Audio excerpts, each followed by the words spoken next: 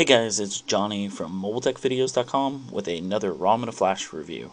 This time, it's MIUI version 1.11.11 for the AT&T Samsung Galaxy S2.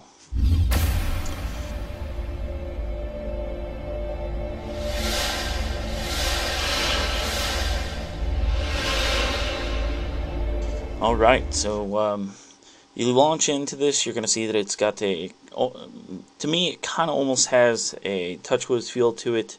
Um, it's kind of got nice rounded corners, uh, very nice, elegant look to it. It's very snappy. Um, let's go ahead and jump into the settings here.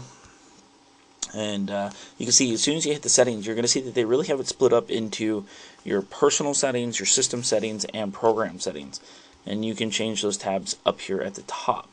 Um, you're pretty much going to find all the stuff that you would on most ROMs, but you get a little bit more in depth with some of them. Um, if we go into the system settings and we come down to the About Phone, they're definitely going to be a little bit more in depth with it. You're going to see that the model is the i777, which is the AT&T branded one. Um, what version of Android I'm running? Uh, a dual core 1.2 gigahertz processor with 1 gig of RAM. Um, it's going to show you how much is available and how much is free.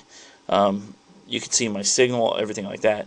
Um, you can see the current baseband version, um, your kernel version, and the mod. Um, everything's built in there. Very clean, easy to use. Um, you can change your battery settings so you have an alarm for when your battery is low. Um, there's a bunch of different stuff you can come in. Uh, power button settings, uh, long press to kill an app. Um, disable on lock screen.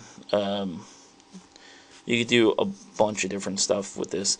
Um, go over to the programs. You can adjust your message settings, Gmail settings, everything like that. The cool thing about this is the themes. This this is a very themable. Uh, it, it's it, it, it's very themable. It, it really allows you to express who you are.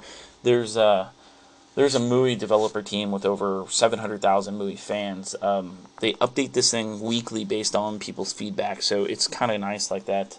Um, it, it, there's over currently over 100 themes on the online theme. These are just some of them that I, I grabbed real quick. So let's go ahead and, and swap one over. You can go ahead and you can preview it and see what the screenshots are. Um, you will see the Japanese text. That's something they're working on right now because it is ported over. Um, but it doesn't show up on your phone like that. So let's go ahead and click apply. Um, you're going to see how quick and easy that is to Let's say the new font library may cause some apps to display incorrectly. Reboot to fix this issue. We're not going to do that.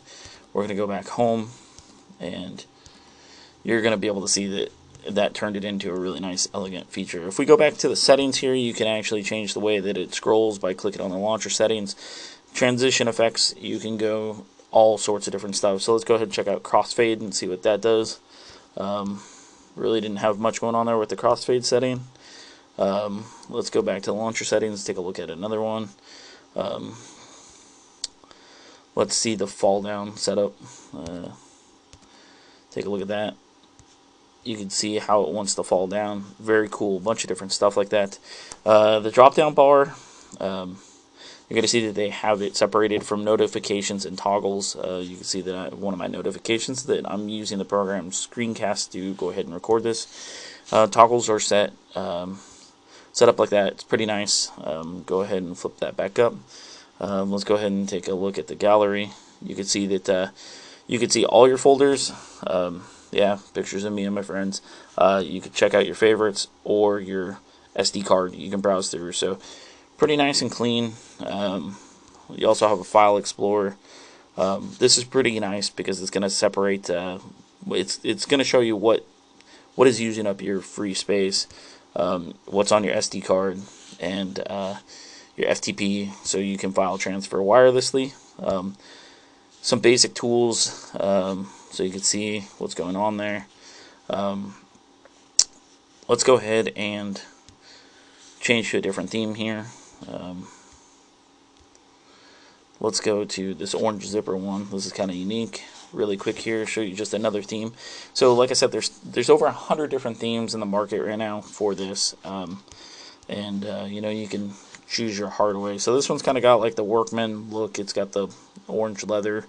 Um, pretty nice stuff. Go into our contacts and we'll see that the contacts are pretty nice.